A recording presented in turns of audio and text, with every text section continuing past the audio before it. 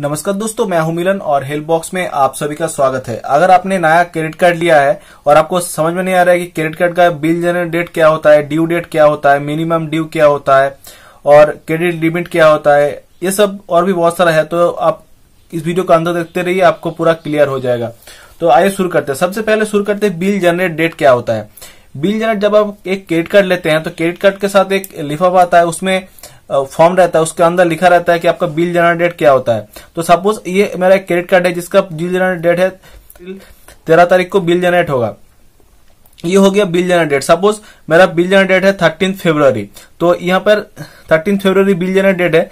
तो bill generate जब date होता है तो बिल जनरेट डेट से 20 दिन के अंदर 20 डेज़ के अंदर हम लोगों को जो बिल है वो पेमेंट करना होता है। तो थर्टीन फेब्रुवरी हुआ तो थर्टीन फेब्रुवरी के बाद ये ट्वेंटी डेज़ अगर ऐड करेंगे तो देखिए थ्री मार्च आता है थर्ड मार्च तो मतलब यहाँ पर थर्ड मार्च तो ये तीन मार्च के अंदर हमको पेमेंट करना है या उससे पहले।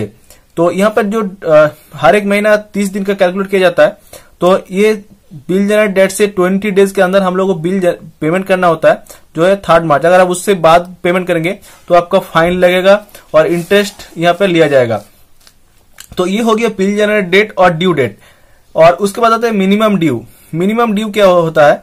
मिनिमम ड्यू मतलब अगर आपके पास, आपका बीस हज़ार का बिल आया है क्रेडिट कार्ड में तो वहाँ पर एक मिनिमम ड्यू जैसे तीन सौ, चार सौ, पाँच सौ वहाँ पर लिखा रहता है, वो आप पेमेंट ना भी कर सकते हैं मतलब बाद में कर सकते हैं, उसमें उसके लिए कुछ भी चार्ज या इंटरेस्ट नहीं लगता है। तो वो होता है मिनिमम ड्यू वो आपका कार्ड का अगर ऐप खोलेंगे तो वहाँ पर लिखा रहता है। वहाँ पर पाँच सौ रुपीज़ है तो आप अगर आपका दस हज़ार बिल आया, अगर मिनिमम ड्यू पाँच सौ रुपीज़ है तो आप आठ, नौ हज़ार पाँच सौ रुपीज़ भी पेमेंट करेंगे तो आपका कोई इंटरेस्ट या फाइन नहीं लगेगा। मतलब पाँच सौ रुपीज़ आप मिनिमम ड्यू रख सकते हैं। तो वो हो गया मिनिमम ड्यू उसके बाद आते हैं टोटल बिल टोटल बिल क्या होता है? टोटल बिल सपोज़ सपोज़ आपने दस हज़ार का शॉपिंग किया। यहाँ पर देखिए आपका तेरह तारीख का बिलिंग डेट है और सपोज़ आपने यहाँ पर तीस तारीख को मतलब जनवरी का तीस तारीख को दस हज़ार का शॉपिंग किया, ठीक है? तो दस हज़ार का शॉपिंग किया तो उसके बाद यहाँ पर तीस तारीख, उसके बाद कोई शॉपिंग आपने नहीं किया। सपोज़ यहाँ पर दस तारीख का शॉपिंग किया, उसके बाद इस महीने कोई भी शॉपिंग नहीं किया तो उसके बाद दस तारीख, तीस तारीख को एक ही शॉपिंग किया तो तेरह तारीख को बिल जनरेट होगा। तो तेरह तारीख को जो बिल जनरेट हुआ दस हज़ार का, वो हो गया टोटल बिल। ठीक है? वो हो गया टोटल बिल। ये हो गया टोटल बिल। उसके बाद है अनबिल ट्रांजेक्शन अनबिल ट्रांजेक्शन क्या होता है? तो ये तीस तारीख को आपने शॉपिंग किया था तो उसके बाद ये पर तेरह तारीख को का बिल जनरेट डेट है, वो बिल जनरेट तेरह तारीख को हो गया है। उसके बाद सपोज़ आपने फोर्टीन तारीख, चौदह फेब्रवरी को क्या किया? आपने फिर से दस हज़ार का शॉपिंग कर लिया। फिर से दस हज़ार का शॉपिंग कर लिया। लेकिन यहाँ पे तो आपका बिल जनरेट डेट है तेरह तारीख। लेकिन ये बिल में कैलकुलेट नहीं होगा। ये कब बिल जनरेट होगा? ये बिल जनरेट होगा अगला महीने का तेरह तारीख को, ठीक है? अगला महीने का तेरह तारीख को मतलब मार्च का तेरह तारीख को ये जो दस का शॉपिंग किया है, वो अगला महीने का तेरह तारीख को कैलकुलेट होगा। तो ये हो गया अनबिल ट्रांजेक्शन तो अनबिल ट्रांजेक्शन ये दस हज़ार। तो ये क्या होता है? आपका तेरह तारीख का बिल जनरेट डेट है, उसके बाद आप शॉपिंग करेंगे तो अगला महीने वो बिल में आएगा। पहले महीने के बिल में ऐड नहीं होगा। ये होगा अनबिल ट्रांजेक्शन उसके बाद टोटल टोटल यूज्ड इसके बाद ऑप्शन आता है ऑप्शन आता है यूज्ड कितना आपने यूज्ड किया? तो आपने टोटल बिल है आपका दस हज़ार का और आपने टोटल जो बिल आया है, और अनबिल ट्रांजेक्शन मतलब जो बिल जनरेट नहीं हुआ है, वो ही दस हज़ार का। मतलब टोटल आपने कार्ड से कितना यूज़ कर लिया? है टोटल हो गया बीस हज़ार, दस हज़ार प्लस दस हज़ार, बीस हज़ार। और सब, और अवेलेबल और एक बात बताना भूल किया क्रेडिट लिमिट आप जब कार्ड लेते हैं तो वहाँ पर एक क्रेडिट लिमिट दिया जाता है कि कितना तक आप उधार ले सकते हैं या उधर पे शॉपिंग या बिल पेमेंट कर सकते हैं। तो ये सपोज़ आपका कार्ड का लिमिट है, एक हज़ार, एक लाख होता है, पचास हज़ार, दस हज़ार ऐसा होता है, ठीक है? उसके बाद अवेलेबल एक होता है मतलब आपका कार्ड का लिमिट है एक लाख और आपने बीस हज़ार का जो है शॉपिंग कर लिया है बिल पेमेंट कर लिया है तो आपका कितना बच रहा है? अस्सी हज़ार।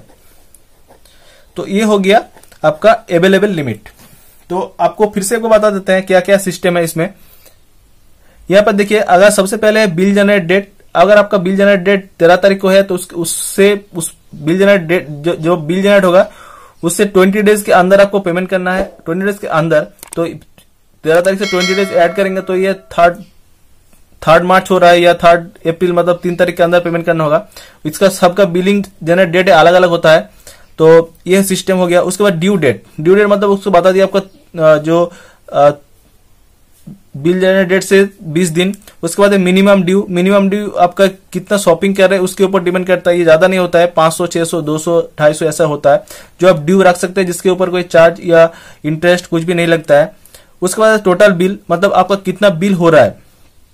मतलब पिछले महीने से चौदह तारीख से अगर आपका बिल जनरेट डेट तेरह तारीख से तेरह तारीख है मतलब उसके बाद एक ऐड कर लीजिए मतलब पिछला महीना चौदह तारीख से इस महीने का तेरह तारीख तक आपका कितना शॉपिंग या बिल पेमेंट किया है तो वो ऐड होके ऐड जितना भी है वो तेरह तारीख को बिल जनरेट होगा वो हो गया टोटल बिल ठीक है जो ट्वेंटी डेज़ के अंदर आपको पेमेंट करना है अन टोटल बिल टो, टोटल बिल वो हो गया उसके बाद अन बिल जो तेरह तारीख के बाद मतलब बिल जनरेट डेट के बाद अगले बिल जनरेट डेट तक ठीक है? जो आप शॉपिंग या परचेस करेंगे मतलब इस तेरह तारीख से अगले महीने का बारह तारीख तक, ठीक है? जो भी शॉपिंग या परचेस करेंगे, वो हो गया आपका अनबिल ट्रांजेक्शन क्योंकि वो बिल में काउंट नहीं होगा, वो अगले महीने ट्रांसफ़र हो जाएगा। उसके बाद यूज़ मतलब आपने टोटल कितना यूज़ किया है? मतलब जो बिल जनरेट हुआ है, जो आप पेमेंट नहीं किया है, और जो आपने मतलब बिल जनरेट के बाद जो ट्रांजेक्शन किया मतलब टोटल आपका जो ड्यू है, वो वो आएगा यूज़ में आएगा। अवेलेबल। मतलब जो आपका क्रेडिट लिमिट जितना भी है कार्ड का, अगर एक लाख है और अपने टोटल बिल और अनबिल मिलके अगर टोटल जितने बीस हज़ार यूज़ किया है, ये हो गया अनबिल ट्रांजेक्शन सॉरी अवेलेबल ठीक है? मतलब जो आपने खर्च किया है और जो आपका आपका बचा हुआ है बैलेंस वो हो गया अवेलेबल तो ये सब है आपका क्रेडिट कार्ड का सिस्टम तो ये आप ठीक से जान के रखिए, क्योंकि अगर आप थोड़ी भी इसके इसमें आपका जानेंगे नहीं कुछ भी तो आपको फाइन लग जाएगा इंटरेस्ट लग जाएगा, और ये फाइन इंटरेस्ट बहुत ज़्यादा होता है। तो इस वीडियो में, वीडियो के लिए फ़िलहाल इतना ही। फिर मिलेंगे कुछ नया वीडियो के साथ, नया टॉपिक के साथ। अगर आपको वीडियो से कुछ सीखने को मिला है प्लीज़ चैनल को सब्सक्राइब कर लीजिए, वीडियो को लाइक कीजिए और ज़्यादा से ज़्यादा शेयर कीजिए। Thanks for watching this video